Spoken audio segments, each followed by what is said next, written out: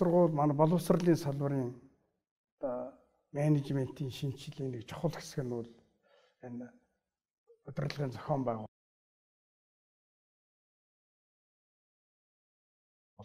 асуудал байдаг. Тэгэхээр удирдлагын зохион байгуулалтын зохион байгуулалт нь ямар байх вэ? Зохион байгуулалтын бүтц нь ямар байх вэ гэдэг нь бол юуны өмнө зорилгоос хамаардаг. Тэгээд их сургуулийн одоо алсын хараа эрхэм зорилго, зорилтууд, стратегийн төлөвлөгөө нь ямар байна? Түүндээ тохирсон зохион байгуулалтын бүтцийг бол одоо бий болгох хэрэгтэй. Тэгэхээр энд бол яг онлын хувьд бол маш олон энгийн, шугам, функционал, дивизионал, матриц зохион байгуулалт гэдэг зохион байгуулалтын бүтцүүд олон болсон гоосоор ирсэн. Тэгэхээр 21-р зууны их сургууль боловсролын салбарын зохион байгуулалтын бүтцийн гол одоо хэлбэр бол тэр од бүтц гэдэг бүтц бүтцийг бол одоо хэрэглэх нь зүйтэй. Тэгээ энэ бол одоо Америкийн эрдэмтэн Жай Галбрайт гэдэг хүн бол энэ одоо бүтцийг одоо тодорхойлсон.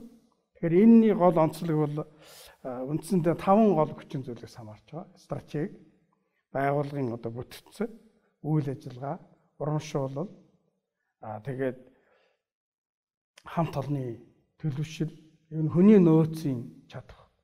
Ийм таван одоо хүчин зүйлээс хамаарч бол хамааруулж одоо зохион байгуулалтын бүтцэн хийх ёстой гэсэн одоо ийм загвар байдаг.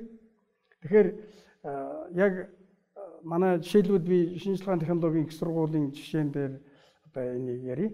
Тэгэхээр шинжилгээ технологийн их сургууль бол 90-ад онд бол их сургуулийн зохион байгуулалтын бүтцийг боловсруулад удирдлагын төвлөрлийг сааруулсан. Ингээ бүрэлдэхүүн сургуулийн зохион байгуулалтанд шилжсэн. Тэгэхээр тэр нь бол үндсэндээ функционал ба дивизионал бүтц шилжсэн гэсэн үг. Тэгэхээр ийм бүтцээр их амжилттай сайн хөгжсөн. Тухайн үеийн одоо зорилгоо хэрэгжүүлэхэд. Тэг өнөөдөр бол манай шинжилгээ технологийн их сургууль өнөөдөр гэдгийг би 2020 он 19 оны байдлаар одоо өнөөгийн байдлаар ярьж байна. Тэгэхээр зохион байгуулалтын бүтц бол илүү матриц буюу одоо удирдлагын дээд түвшинд шүтээсийн дээд удирдлагын төвсөнд удирдлагын төвлөрөл төвлөрсөн тийм зохион байгуулалт байгаа. Яг бүрэлдэхүүн сургуулийн зохион байгуулалт байгаа ч гэсэн удирдлагын функцүүд нь бол төвлөрсөн байгаа. Өөрөөр хэлбэл тэр штабын зохион байгуулалтын бүтц маягтай болцсон гэсэн. За ялангуяа сургалт бол одоо тийм штабын зохион байгуулалттай байгаа. Тэгэхээр энэ бүтц бол одоо жишээлбэл шинжилгээ технологийн их сургууль 2030 он хүртэл одоо шүтээсээ хөгжүүлэх мастер төлөвлөгөө зохиосон. Энэ одоо төлөвлөгөөнд бол зорилго стратеги алсын хараагаан бол шинчилсэн. Тэгээ 2030 он гэхэд бол шүтээс бол Азийн шилдэг сургуулийн ангилалд бол очно гэж. Өөрөөр хэлбэл тийм сурал юуны судалгаан суурилсан тийм их сургууль одоо энэ төвшөнд очихоор бол зорилгоо тодорхойлсон байна. Тэгэхээр ийм одоо зорилго тавьдсан нөхцөлд бол бидний хуучин зохион байгуулалтын бүтцүүл тохирохгүй. Одоо харин одоо яриад байгаа тэр од гэд бүтцийг бол одоо авах шаардлагатай. Тэгэхээр ер нь бол практикт их сургуулиуд энэ боловсролын байгууллагын нэг алдаа бол ер нь тухайн одоо удирдлагын баг баг багдаан зориулж тухайн удирдагчаас хамаарсан зохион байгуулалтын бүтцийг дандаа хийдэг.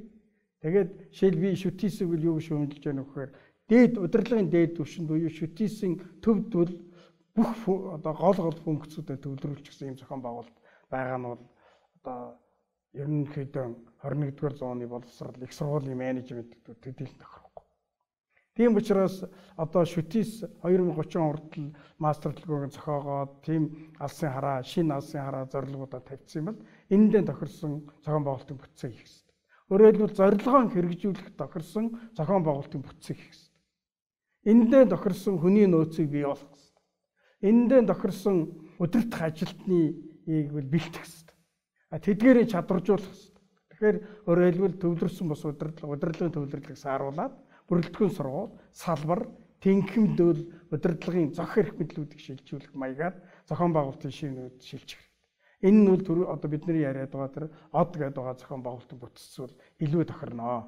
Энэ нөхцөлд бол хүнээ идэвхжүүлэх одоо урамшуулгын механизмын, урамшуулгын системийг шинжлэх хэрэгтэй. А тэгээ хүний нөөцийг шинээр бүрдүүлэх хэрэгтэй. Өөрөөр хэлбэл чадварлаг нөөцийг авиас авиасыг авиасыг хөгжүүлэх авиаслаг хүний нөөцийг удирдах ажилтны багш нарыг мэрэгчлэтнүүдийг өөртөө татсан тийм зохион байгуулалтын бүтц шилжих ёстой гэж үзэж